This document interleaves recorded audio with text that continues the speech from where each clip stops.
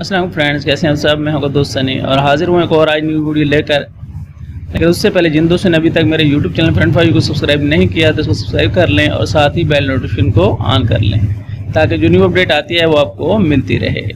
तो चलते हैं आज के सॉफ्टवेयर की जानब। तो आज का जो हमारा सॉफ्टवेयर है, वो है G X double six zero five S का। और इसका जो हार्डवेयर है, वो है two zero three point double zero point double zero three तो जिन दोस्तों के पास जी एक्स का ये वाला वर्जन इंस्टॉल है तो इसका जो न्यू सॉफ्टवेयर है, उस आ चुका है और उसका जो लिंक है डिस्क्रिप्शन में मौजूद है, वहाँ से उसको डाउनलोड कर सकते हैं।